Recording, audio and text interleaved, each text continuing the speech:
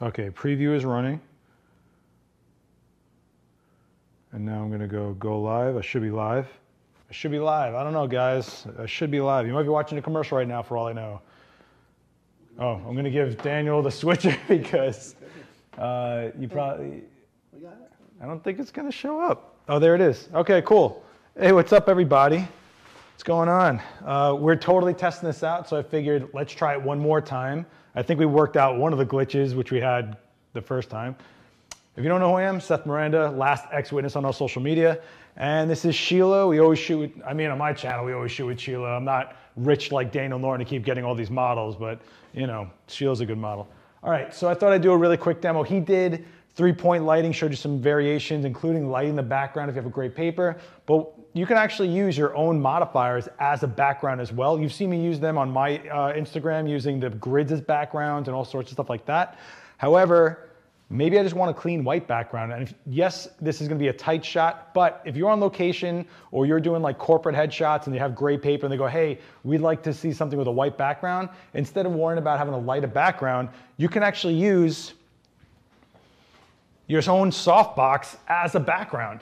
If you, this is a standard two by three, this is as standard as it gets. And as long as you can get someone in there, as long as you understand power ratios, you can make uh, a white background fairly easy. The key to this is to make sure that the power is just at the right point so it doesn't blow around your subject or cause flare. So it's, uh, it's a few things. It's gonna be distance to the subject and power of your strobe. But the first thing you have to do is get the exposure for your model. So let, this is why it's a good option when you're shooting on location because you can get whatever shots with Sheila how she is and then you can throw the softbox back there because once you get the exposure for her, it's just a matter of dialing in that backlight, if that makes sense. If you guys have any questions, please ask me in the chat. This one's thrown together a little bit. Right away, I'm gonna give Sheila a little bit of a distance from the background because I'm gonna be making my own background. I don't even care about that gray paper, but let's get an exposure on her. So, for my key light, because Daniel already had it sitting around,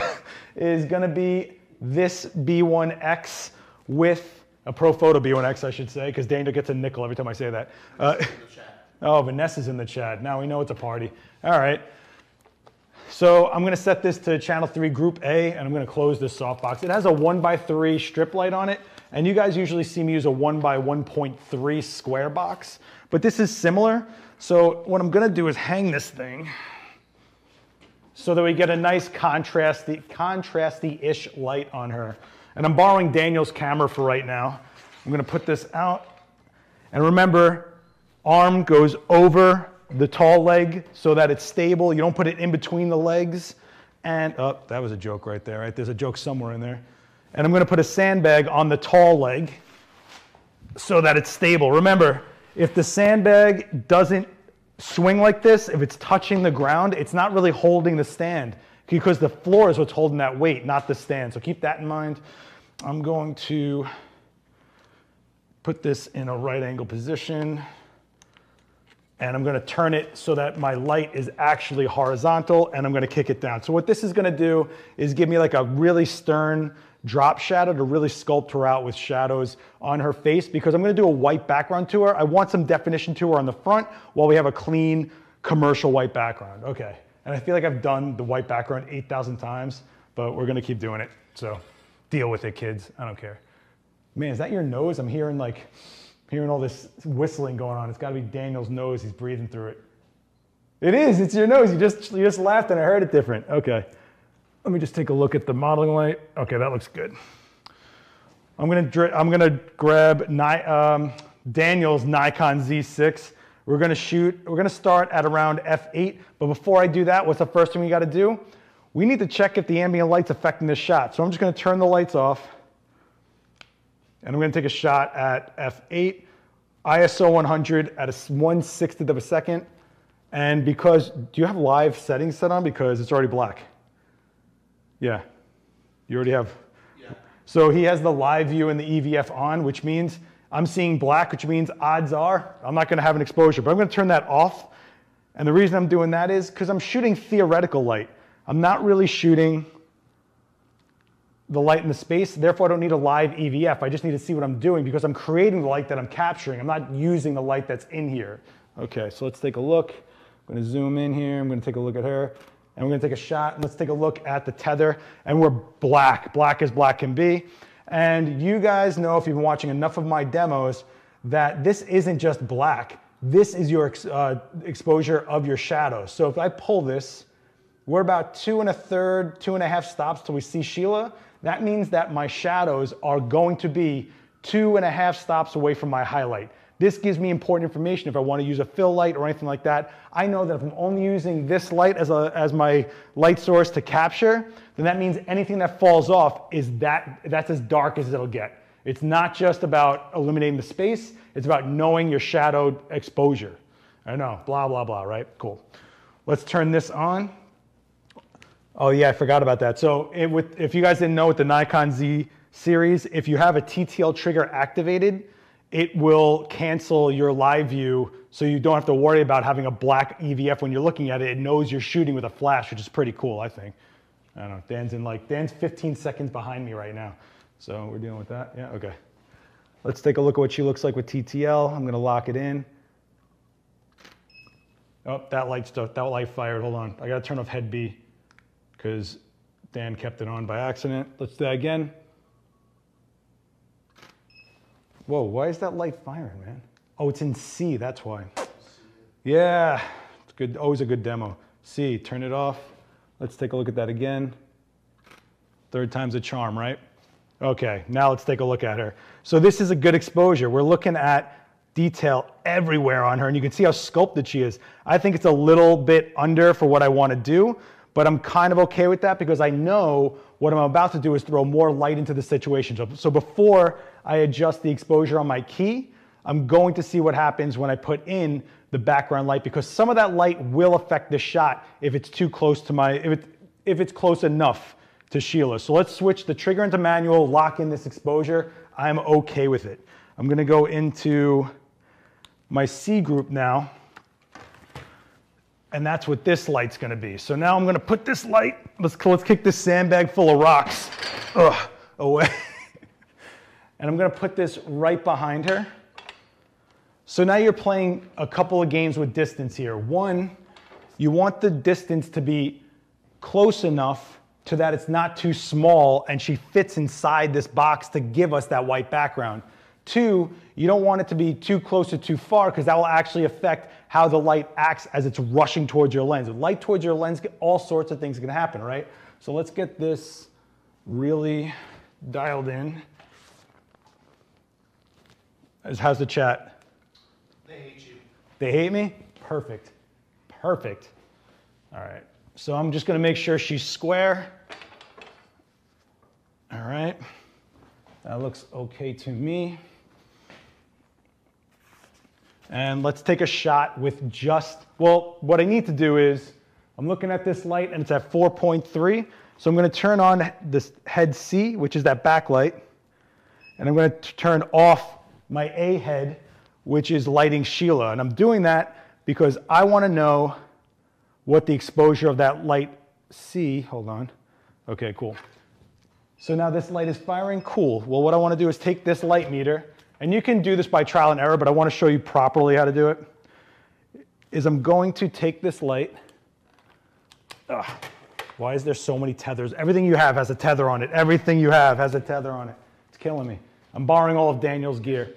So I'm gonna set this to the same exposure as this light. This is about a foot and a half from her face. This is about a foot and a half from, from the back of her head. What I want to get is f8 here, which is what I have in the camera. We just did that. Now I'm going to go here. I'm going to take a light meter reading of the back of her head, and it's f5.0. That is not even going to get me where I need to be to have a white background. What I need this to be is either f8 or about a half stop above that. So what I'm going to go and do is go into my C light, which is this. I'm going to add it one, two, two stops. And now I'm at F10. So that's a little bit brighter of, a, of an exposure than what's happening in the front. This might still be too much light, but because I have tenths of a stop on this, I'm gonna actually lower it. Three, I'm gonna lower it uh, half a stop. Now let's take a shot with just the backlight and let's see if I get a white background. So that looks pretty white to me. And as I and you see how she has a little bit of light on her. What's actually happening here is the key light is this one by three. Well, light off of this two by three is reflecting off of the strip light because it's actually wider than Sheila. So you're getting light flying past her, hitting this and acting as a fill light, which is pretty convenient actually. So let's put these lights together. But if you notice, no flare. Am I on the screen? Do, you have me on the screen? You'll be on the screen, yes. You will be. No, no, not me, the, the screen screen. Yeah, yeah. Okay, so see how there's see how there's no flare happening? That means that we just ratioed this light to not affect the front of the camera at all. But we are getting the reflection of the light from behind her here onto the softbox in front of her here, and that's why you're seeing this fill happen and not a total silhouette. So let's put these lights together. A, head on, do a quick test, and take a shot. Let's see what we get. Boom, white background, super clean with just our light sources. And yeah, we're gonna get this crazy halo around her, which is nice. I like that stuff. It's So what you basically have here is four, uh, uh, two lights acting as a four light, maybe even a six light setup. And what I mean by that is usually to get a white background with rim lights, you would have two lights on the background cross, crossing each other to make an even white background. Then you might even put two rim lights on either side of her to get those cheek highlights. And then you would have your key lights. That's four lights right there.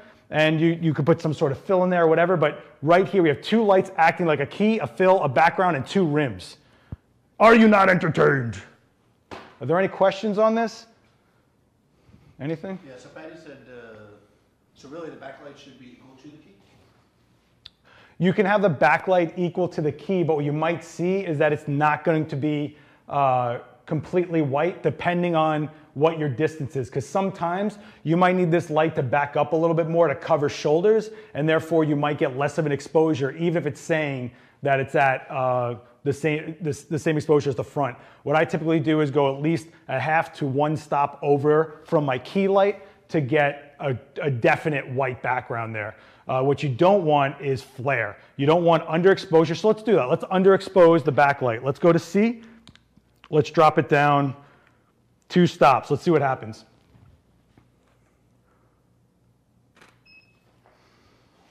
And you can see the top starts becoming a little gray. You can even see right here texture of the softbox. Can you guys see that on the screen? See how there's like a fall off? When you guys look at the difference in these two images, see how one looks correct on the left, which is where we were? And then on the right, all we did was take light out of that. We took some power out of that light and we're losing the fill and we're losing our stark white. We have this weird gradation to it. You might like that look, but if you're trying to get that white commercial look, you're gonna have to go at least even in exposure or a little bit greater. So let's go to, back to, let's, let's blow it out, just so you guys have an idea of what it looks like. So I'm adding five stops. That means I'm actually up three because I took out two, but let's do it. So it's three stops greater than my key light now. And you see how we get this foggy fade? Which is nice if you want to have some ethereal, angelly looking thing for a character, but most of the time, this will change someone's skin tone. It could change their uh, clothing. You change all sorts of things about what's going on in there, or even the color saturation of makeup could change here. You want to make sure that that light is where we had it, which was, I'm going to drop it down back three stops and we'll have it right back where we wanted it. And you can see right here, boom, we're right back where we wanted it. We have a clean white, no fall off, and I don't see any texture of the softbox because it's properly exposed. Okay, guys? Uh, and if I wanted to, I could play with the, the uh, key light and I could give it like another stop, and then you'll see that we can kind of bring it up a little bit. Boom, right there, clean. Super, super clean. It's on exposure because I'm seeing every texture in those highlights. Oh, your, your, your mouse pad goes the other way, or trackpad goes the other way. Yeah, you see that? So we're definitely on exposure here. All right, I think, so just, just for fun, just for fun, let's uh, throw a black board on one side. I'm gonna show you guys how to make that, that definition we did in a past demo really quick. Are there any questions in the chat? Nothing? Uh, no, they're discussing what you just said. Okay. Are we digging this? Are we all right with it? Oh, they, they, they They love it. All right, because I have no idea what I'm doing today. I just was like, let's do a demo, Dan. And he's like, yeah, let's do a Well, demo. Actually, yeah, West, West, West Coast is maybe, uh, she's asking the, the light coming from the back doesn't, uh, hurt the lens. The, the light from the back could cause flare and could cause fogging or what we call blowback, and that's totally controllable by the power of the light. If this wasn't a softbox, yeah, we would get a, the harder the light source, the more of a ripping flare you'd get. But because we're using an even uh, softbox, that this whole panel should be even, uh, you won't get that kind of phenomenon happening. But yeah, it is, it is a risk. But as long as we understand our power ratios, we shouldn't have a problem. So let's try what, let's see what happens when I put black on either side. We did this in, a, in, a, in another demo uh, recently, right guys? So I'm gonna put black on either side of her and that's gonna be called what? Negative fill, which is the guy that everyone hates in the office, you know? I'm gonna use, uh, actually, I can use this. This is a pretty garbage stand though. I hate this light stand, Dan. That is the worst. This is the worst stand ever. It's, Apparently, apparently it's not Brett's. it's, it's rods. Yeah, it's rods. Rod. Oh, Rod. All right. So I'm- what I'm doing is putting foam core, which I think I'm a, together. These boards cost five bucks. You could use black duvetine, black canvas, V flats, black construction paper. I used to keep a stack of that around in my old um, in my old studio. Oh, now I know why I can't use this because it doesn't stay, right? Oh no, it does. That is the most garbage stand ever. All right, let's see if this changes anything, guys. I'm gonna walk this in a little tighter. Now, negative fill is super subtle, but it should actually change a couple things. Well, just one thing, really, but let's take a look. I got her in a little house. I'm doing this just for fun right now. This isn't like practical or anything. Let's take a look. Yeah, and you get a little bit more definition on her jawline here. And I could keep playing games with this. I could take that light in the background and push it back a little more. Now it's going to be harder for me to fill the back of her with the white of the softbox, but if I stretch my lens out, the longer the focal length, the bigger that background becomes to her shoulders, right? From my perspective. Oh no, we're going to see this softbox totally. Well, let's see. What? Yeah, it's just a 70 millimeter. But you see how we just got deeper shadows here? So when you look at left to right, it's subtle, but it's there. You guys see the difference? Right over, even in her lips, you can see, I'm going to pull this over here. I'm to pull this over here. You see the difference? There's deeper shadows in the mouth, deeper shadows underneath the chin, and just a touch deeper here, and we lose that highlight. See the highlight's gone? On the, on the side of the cheekbone. Boom. So it's a totally different feel. Now, because we move the light back, the fill light goes down on, uh, from this to this. You see how this has a little bit of a gray tone to it? Okay, so I'm gonna go into my A light, A, and I'm gonna give it seven tenths more of a stop. It's so weird using a 70 millimeter after having that 120 on my camera forever. Let's take a look. There you go. So now we have a clean white without the white highlight halo on either side. You see that? And that's because we have negative fill and we move the light away. Does that make sense to everybody? It's subtle stuff, but it's these subtle things that make all the difference to my style versus Dan versus yours is all these little subtle things or think of it kind of like grammar in a sentence or demeanor when you're saying something. Same thing with a with a photo. Subtle differences is what really polishes up your sentence if you want it to convey a certain tone. All right. So Mike's asking, and this is totally different, Mike's asking if he's using a white background and trying to get it black. He's tried blocking with a grid, I feel my room is too small to get it to work with a large light source. Do you recommend a small? Yeah. Uh, so what's basically happened? So the question was: is if I'm trying, if in a white, if I'm using a white background in a small room and I'm trying to get it black, what am I doing wrong not to get it black? Well, one, you have inverse square, right? Get the light closer to your subject, farther from that back wall, because you don't want light to to expose that back wall. So think of it this way. Uh, let me move all this junk out of the way first of all. So let's say this is your setup, right? If over here is f8, if this is the only light source and the wall is over here, then this means the light over here is probably about 6.3. It'll show up. But if I'm back here, every time I, I double the distance, I increase a stop. So here might be 5, 6, F4, 2, 8, 1, 4. You see what happens there? That's inverse square. Is the, the, the, fast, the closer a light is to our subject, the faster it falls off. And that's what you want because you want to fall off to black on the far wall. The other thing you might be having problem with is if the ceiling is too short, the light will actually reflect off that ceiling and bathe the entire room. When we do a fill light on location, we boost the light into the ceiling. I think we do this like every time. We boost into a corner, into the ceiling, just to wash light down. And that's basically the same thing that's happening when your one light source might be in a small space reflecting off of a ceiling. What I would recommend is flag this key light, get it closer to your subject,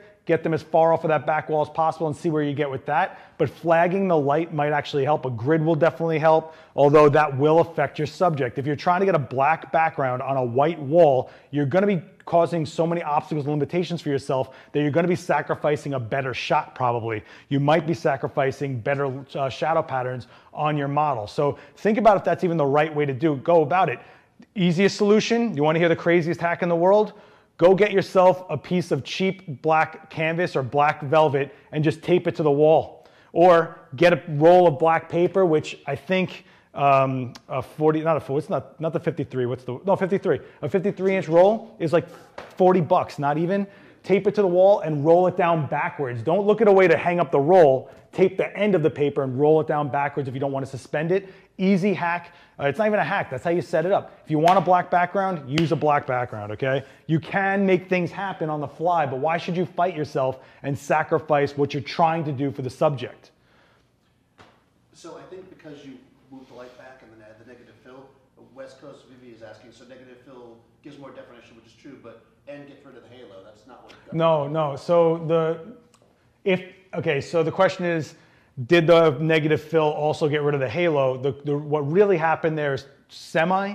So this is physically blocking light, not just, not just eating up the reflection, but the distance pushing that light farther back is what changed the light. Because when it was closer, the spread is different. So now that it's farther away, it's spreading wider and doesn't have a chance to wrap wrap, as we call it, around her to give those halos. It's actually the distance of the light that's more affecting the fact that we don't have halos. The negative fill is just helping it along. And a lot of times you'll take these negative fill. Where did I put the card? Okay. You'll take the negative fill and you'll actually pitch it one way or another to block that light. So when you're doing a traditional white background, You'll light the background separately and then usually put a flag by those lights so that they don't bleed into the shot itself, but only illuminate that back wall as its own zone. Okay? I don't know if that makes any sense. That sounds right, right? That sounded smart, right, Dan? Yeah, that sounded good. Yeah, it sounded good, right? Yeah, it sounded good. What did I do with that board? Oh, that's what I do with that board.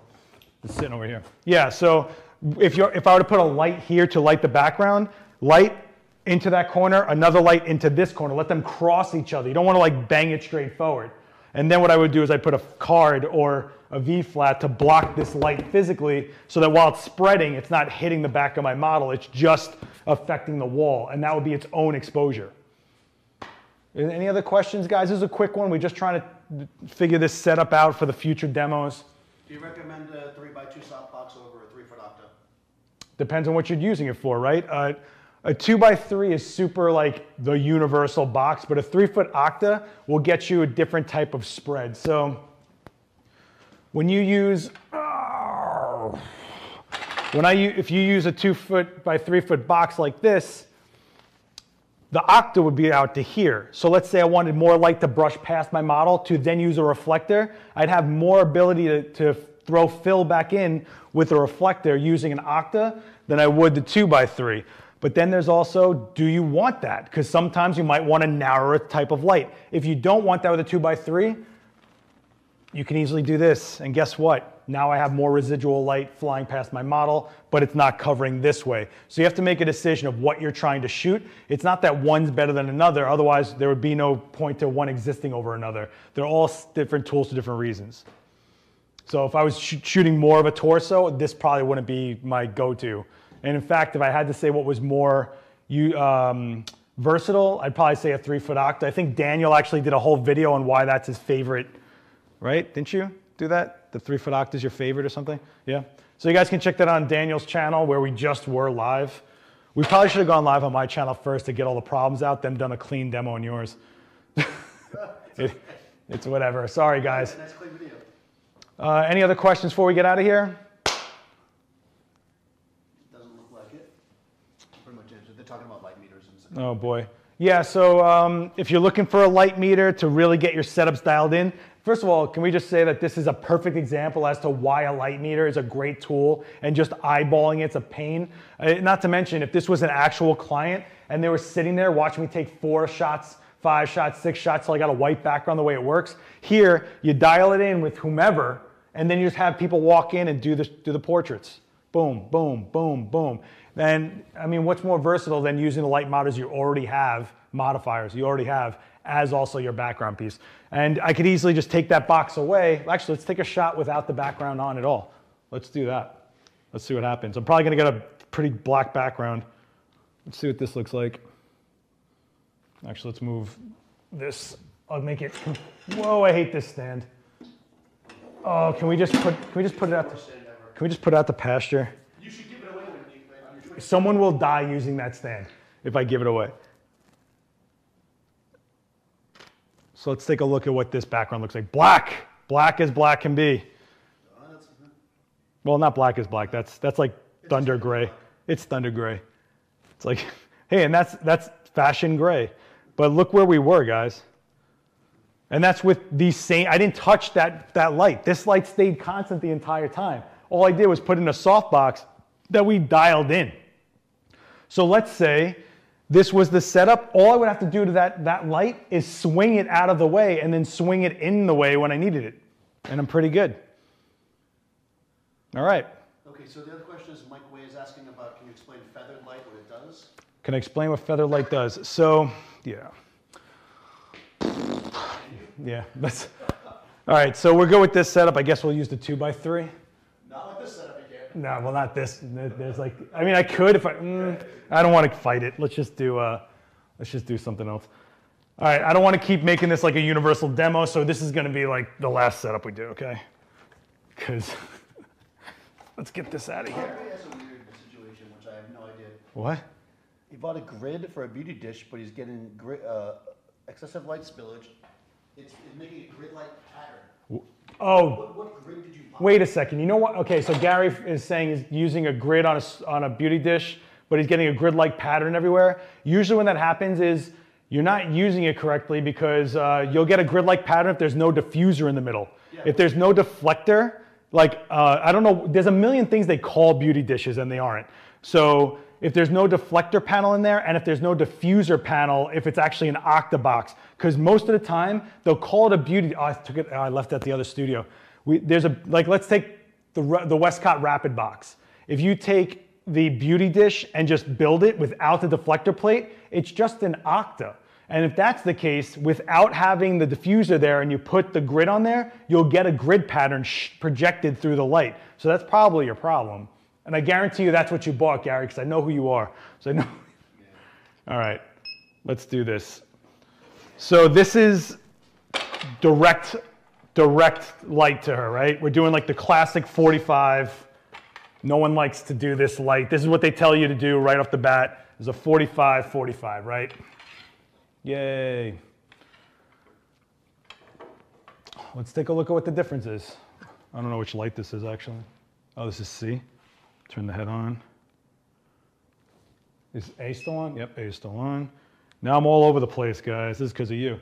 All right, so I'll put TTL on, and I'll. oh, I'm just going to shoot this horizontally so we know the difference in these shots.